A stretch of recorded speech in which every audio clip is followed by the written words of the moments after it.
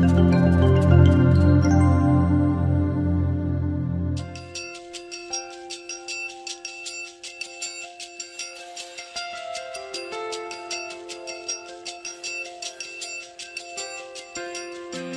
mỗi đầu năm học, việc lựa chọn ngôi trường luôn là vấn đề được rất nhiều học sinh và phụ huynh quan tâm và trăn trở, đặc biệt là đối với các em chuẩn bị bước vào bậc phổ thông trung học. Chọn được ngôi trường có chất lượng giáo dục tốt sẽ mang lại ý nghĩa rất lớn cho tương lai của các em sau này. Tại thành phố Hồ Chí Minh, trường Trung học phổ thông Việt Âu là một trong những cái tên nổi bật được nhiều học sinh và các bậc phụ huynh nhắc đến và lựa chọn.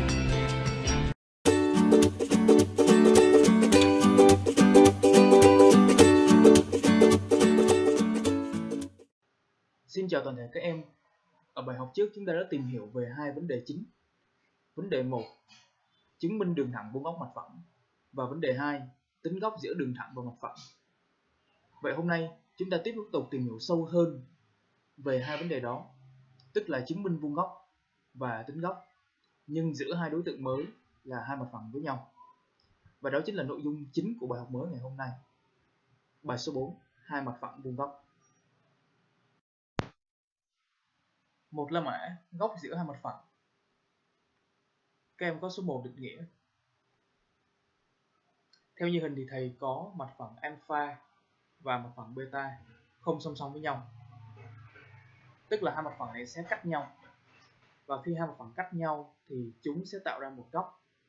Và góc đó đó, nó sẽ được định nghĩa là bằng góc giữa hai đường thẳng A và B. Thì như các em thấy là đường thẳng A nó sẽ vuông góc với mặt alpha và đường thẳng B là vuông góc với mặt beta. À, chúng ta xem về một số ký hiệu. Đầu tiên là ký hiệu này, một vuông, mặt alpha, dấu phẩy, mặt beta, để có cái mũ ở đây ha, là góc giữa mặt phẳng alpha và mặt phẳng beta. Kế đến là các em có ký hiệu này là góc giữa đường thẳng A và đường thẳng B. Rồi góc giữa hai mặt phẳng đó, thì người ta quy ước đó là nó lớn bằng 0 độ và bé hơn hoặc bằng 90 độ. Ở trường hợp mà góc giữa hai mặt mà bằng 0 độ đó các em, đó là khi hai mặt này song song với nhau. Hoặc là hai mặt phẳng này là nó trùng trùng nhau. Chúng ta cùng coi một số hình ảnh thực tế về góc giữa hai mặt phẳng. Ở đây là thầy có một cái lều chữ A. Mặt bên trái của lều là hình ảnh một mặt phẳng. Mặt bên phải của lều cũng là hình ảnh một mặt phẳng Vậy nếu giờ thầy hỏi 10 em là góc giữa hai mặt của lều là góc nào thì thầy tin là ít nhất là 9 em sẽ chỉ được đó là góc này. À, tức là cái góc mà theo mũi tên màu đen. Ở các em sang thầy là hình ảnh thứ hai. Thầy có một căn nhà.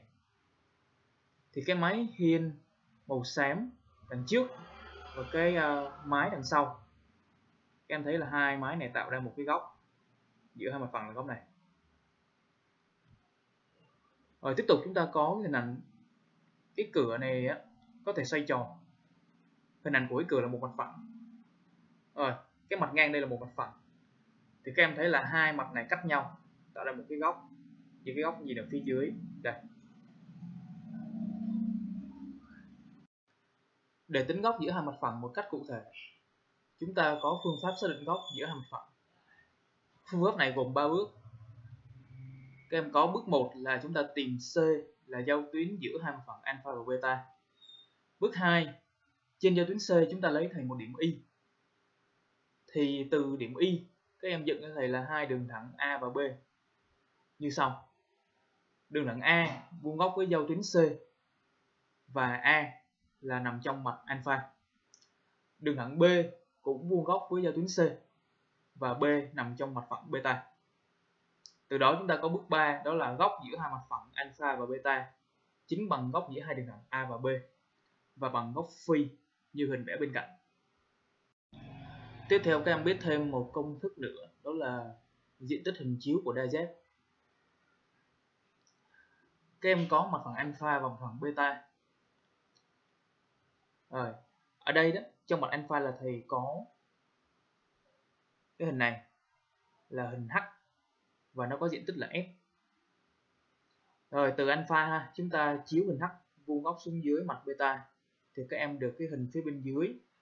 Đây hình này là hình H phết và nó có diện tích là S phết. Vậy nếu góc của alpha và beta đó là bằng phi thì các em sẽ có được công thức đó là f thì bằng là s nhân với lại là cos phi như vậy từ đầu tới giờ các em đã nghe thầy nói về phần định nghĩa về góc giữa hai mặt phẳng và phương pháp xác định góc giữa hai mặt phẳng cũng như là diện tích hình chiếu của một đai z. Cảm ơn các em đã chú ý và kiên nhẫn lắng nghe. Bây giờ để thay đổi không khí thì chúng ta sẽ sang thầy là ví dụ số 1. À, các em có hình chóp SABCD. À, đáy của nó là ABCD là hình vuông cạnh là A. SA thì uh, vuông góc với mặt ABCD và SA cũng bằng ngang. Người ta hỏi chúng ta là tính góc giữa mặt phẳng SAD và mặt phẳng ABCD là cô A. Cô B là tính góc giữa mặt phẳng SCD và mặt phẳng ABCD. À, như vậy là các em có ha, là thầy có cái hình uh, chóp SABCD ở bên cạnh. SA chúng ta kẻ thẳng đứng là bởi vì nó vuông góc với mặt đáy theo như đề bài nói. Chúng ta giải câu A đó là tính góc giữa mặt SAD và mặt phẳng ABCD. Đầu tiên thì các em sẽ phải xác định góc. À, cái này thì chúng ta sẽ coi lại phương pháp là nó gồm có 3 bước. À, các em xem nhanh lại bước 1 là chúng ta tìm giao tuyến của hai mặt phẳng. Bước thứ hai là trong mặt thứ nhất các em kiếm một đường thẳng vuông góc giao tuyến. Tương tự là trong mặt phẳng thứ hai chúng ta cũng kiếm một đường thẳng vuông góc giao tuyến. Thì từ đó chúng ta có thể kết luận là góc giữa hai mặt phẳng chính là góc giữa hai đường thẳng mà mình vừa nói. Rồi áp dụng cụ thể vô câu A này. Đầu tiên bước một là giao tuyến thì các em thấy là AD chính AD đây. Chính là giao tuyến của mặt SAD là cái tam giác màu xanh, với lại là mặt phẳng ABCD ở phía dưới. Ở tiếp theo, trong mặt màu xanh là SAD thầy có ngay là đường thẳng SA vuông góc với lại giao tuyến AD à, lý do là bởi vì đề bài đó người ta cho chúng ta là SA vuông góc với mặt đáy là ABCD thì SA sẽ vuông góc với AD tiếp tục. Trong mặt thứ hai các em ờ, kiếm một đường thẳng vuông góc với giao tuyến AD thì các em thấy ngay đó là đường AB bởi vì theo đề bài người ta cho chúng ta là ABCD là hình vuông. Rồi như vậy là đủ ba yếu tố ha. Các em suy được đó là góc giữa hai mặt phẳng SAD và mặt phận ABCD chính là bằng góc giữa hai đường thẳng SA vậy bằng góc giữa hai đường thẳng SA này và AB này. bởi vì hai đường này cùng góc với giao tuyến AD mà góc giữa SA với AB đó thì các em để ý là hai đường này là có A là chung. Cho nên góc của nó chính là góc A, hay nói cách khác là góc SAB là bằng 90 độ. Vì SA vuông góc với mặt ABCD các em tiếp tục câu B đó là chúng ta tính góc giữa mặt SCD và mặt phẳng ABCD. Ở bước 1 đó là giao tuyến của chúng ta thấy là CD là giao tuyến của mặt SCD và mặt phẳng ABCD. Rồi, tiếp tục bước 2 là trong mặt SCD này, các em phải kiếm được cho thầy là một đường thẳng vuông góc với giao tuyến CD. Thì, cái này các em biết rồi ha. Đó là thầy có là đường SD đó là sẽ vuông góc với CD mặc dù đề bài không nói.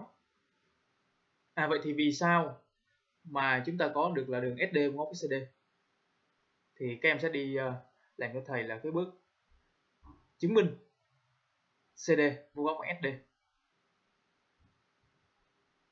để chứng minh CD vuông góc SD thì các em sẽ đi chứng minh CD vuông góc với một mặt phẳng chứa SD thì ở đây nó chính là mặt phẳng SAD à, cụ thể như sau. Các em có CD thì vuông góc với AD giả thiết tức là hình vuông. Rồi CD vuông góc với SA là vì SA vuông góc với mặt ABCD vậy là CD của chúng ta nó vuông góc được với hai đường là AD và SA mà hai đường này cùng nằm trong mặt SAD vậy là các em suy được là CD vuông góc với mặt phẳng SAD và sau khi có được ý này các em suy được đó là CD vuông góc với lại là đường SD bởi vì SD là nằm trong mặt à, SAD à, các em qua thầy là ý tiếp theo.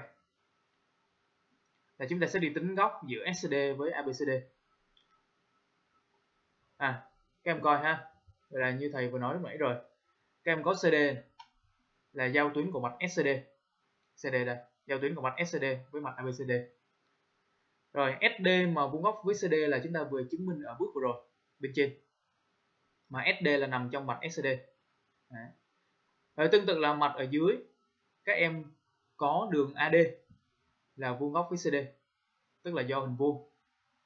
Và AD là nằm trong mặt thứ hai là ABCD vậy là hội đủ ba ý này, các em hội đủ ba ý này, thì chúng ta suy được là góc giữa hai mặt phẳng SCD và ABCD là góc giữa hai đường thẳng cùng góc với giao tuyến, đó là SD và AD và như vậy thì hai đường này các em thấy là có D chung, cho nên góc này chính là góc SDE rồi ờ, tiếp tục, các em sẽ đi tính góc SDE để tính góc SDE đó, các em thấy góc mà hai gạch ở đây không? Thì góc này nó nằm trong tam giác là SAD tam giác này của chúng ta là có góc A là bằng 90 độ ha. Thì ờ, các em để ý là tam giác SAD này góc A là 90 độ. Tức là SA bằng góc AD đó các em. À vậy là theo đề bài người ta cho chúng ta là SA là bằng A. AD thì bằng A luôn. Và SA là cạnh đối của góc D này. AD là cạnh à, kề.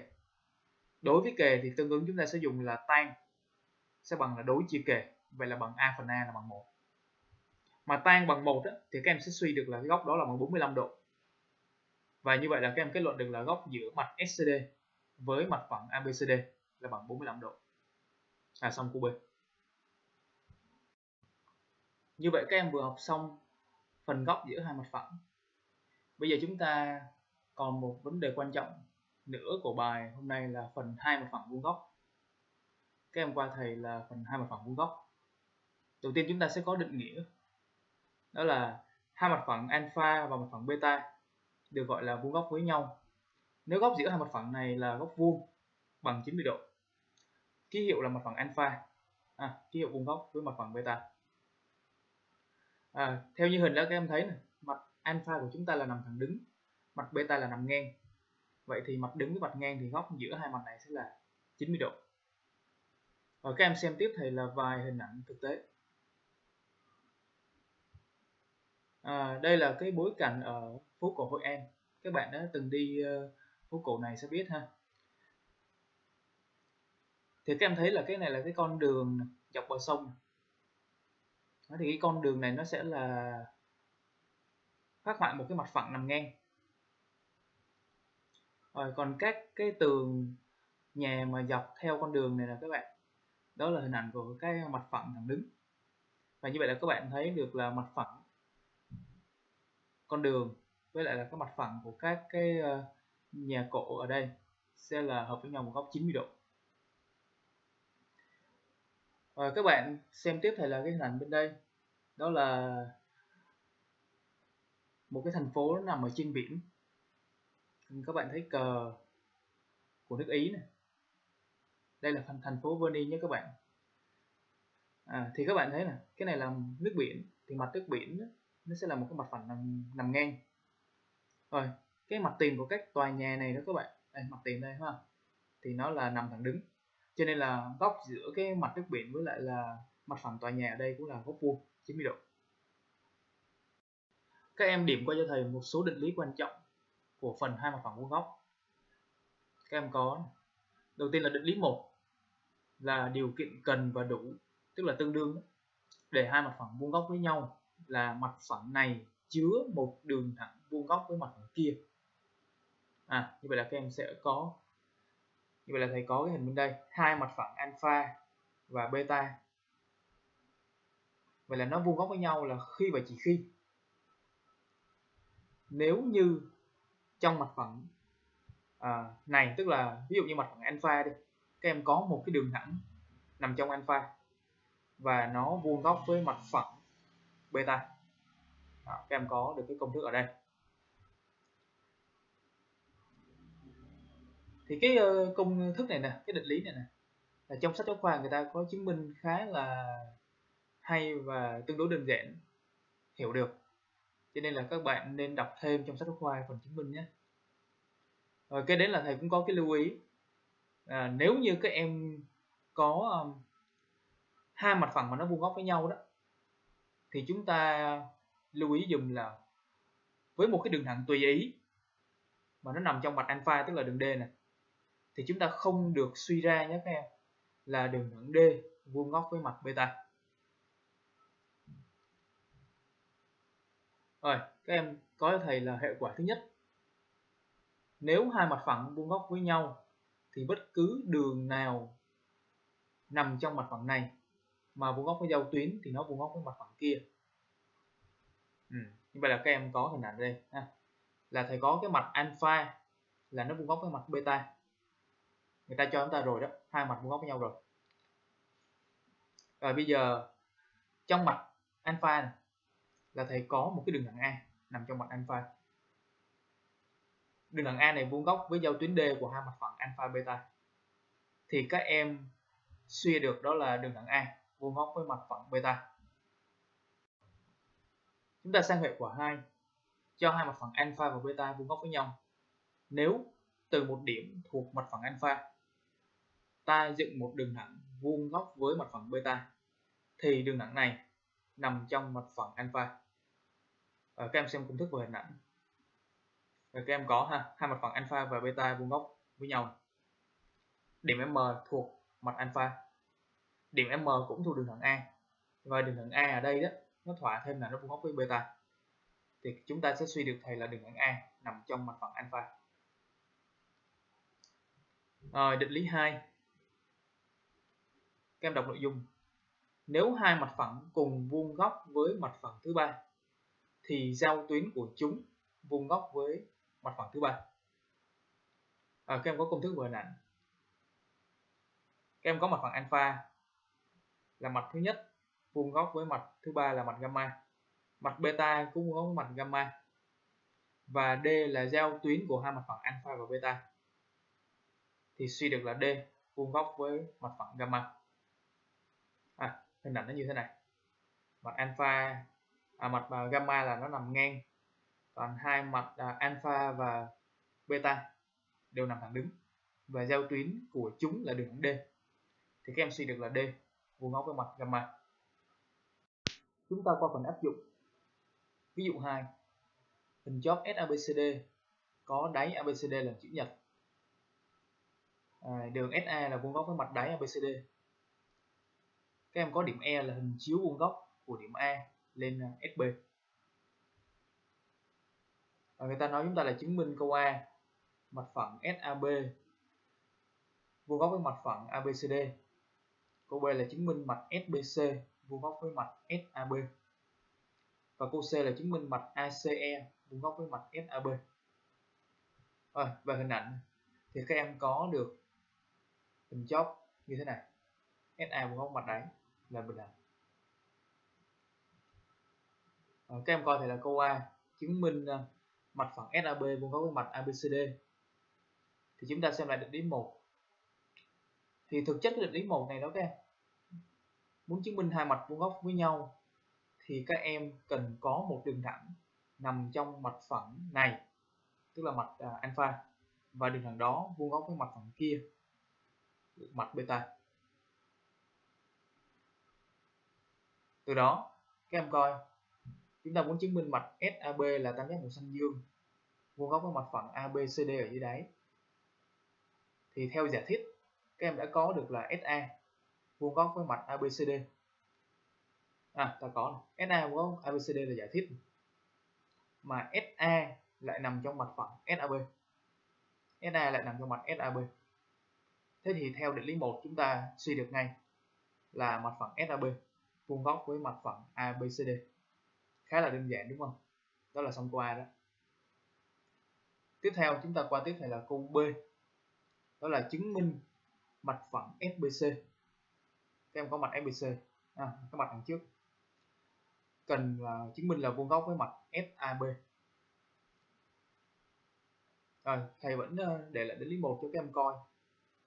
Nhắc lại lần nữa các em chưa nghe kịp là muốn chứng minh hai mặt vuông góc với nhau thì thực chất các em cần có một đường nằm trong mặt phẳng này. Và đường thẳng đó cần phải vuông góc với mặt phẳng kia với cái hình này đó thì các em đã từng gặp rất nhiều lần. Cho nên là đây giờ thầy nói là chúng ta sẽ đi chứng minh đường BC là nó nằm trong mặt SBC thầy sẽ đi chứng minh đường BC này vuông góc với mặt phẳng SAB là xong. Và các em xem ha. Ta có BC thì vuông góc với lại à, SA à, lý do là đề bài người ta cho SA vuông góc với mặt đáy ABCD thì SA sẽ vuông góc với đường BC nằm trong mặt đáy.